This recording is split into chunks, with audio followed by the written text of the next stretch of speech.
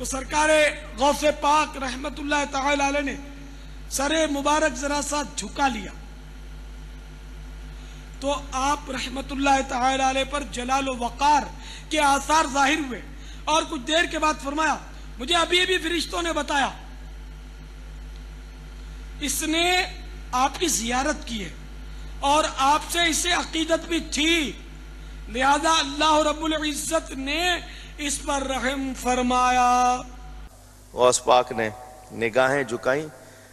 फरमाया मुझे फरिश्ते ने बताया है कि उसने एक मरतबा आपको देखा था। जब उसने फरिश्ते ने गवाही दी फरमाया जा अल्लाह ने तेरे बाप पर रहमत कर दी है। उसने कहा मैंने अपने बाप को बहिश्त में देख लिया है। अब अगर आप समझते हैं कि रसूलुल्लाह के बाद वही का सिलसिला जारी है और किसी और शख्स के ऊपर वही नाजिल होती है और वो आपको बताता है तो फिर तो हमारे पास ले। ताकि फिर हम आपके साथ फिर खत्म नबूत पे बात करेंगे ना, आप तो खत्म नबूत को नहीं मानते। तो सुन, अगर ये बात कहने में ज़ुबान अब्दुल कादिर की थी, ऐलान खुदा का था तो कदम गर्दने औलिया पर है। ज़ुबान अब्दुल कादिर की थी, ऐलान खुदा का था। खुदा अल्लाह के हुक्म से ऐलान किया, कदमी हाजी ही अला रकबती कुल्ले वली मेरा ये कदम तमाम औलिया की गर्दन पर है। तो अल्लाह के हुक्म से जो काम डायरेक्ट कोई करता है, वो नबी होता है या वली? हाँ वो गुलाम कादियानी हो सकता है। अगर नबी नहीं है तो। और खत्म नबूत हो चुकी है, अल्हम्दुलिल्लाह। आखिरी दर्जे में।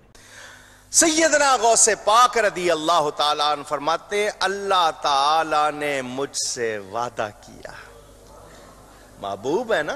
वादा किया है कि वो मेरे दोस्तों, मोहब्बत करने वालों, नाम पुकारने वालों और मेरे बारे में अच्छा अकीदा रखने वालों को जन्नत में दाखिल फरमाएगा।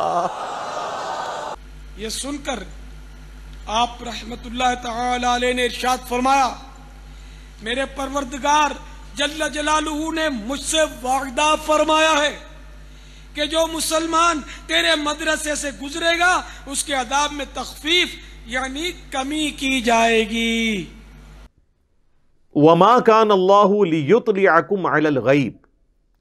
अल्लाह की ये शान नहीं है कि हर एक शख्स के ऊपर गईब की बात को मुनकशिफ कर दे या इतला दे दे वला किन अल्लाह जज तबी मिर रसुल ही में ये शाह लेकिन अल्लाह ताला चुन लेता है अपने रसूलों में से जिसे चाहता है फ़ामिनू बिल्लाही व रसूली बस तुम्हारा काम इतना ही है कि अल्लाह और उसके रसूल के ऊपर ईमान लाओ यानी अल्लाह और उसके रसूल जो तुम्हें गैबी खबरें दें तुम्हारा काम ईमान लाना है तुम्हारी ये डिमांड दुरुस्त नहीं है कि हर शख्स के ऊपर अल्लाह ताला वही नाजिल करे। ये अल्लाह ने तय कर लिया अपनी डेस्टनी में कि अपने पैगंबरों पर वही का सिलसिला करेगा। उनके ज़रिए आगे मामला को लेकर चलेगा। कोई इल्म गैब की खबर मानना यह ख़त्म नबूत के ऊपर डाका है।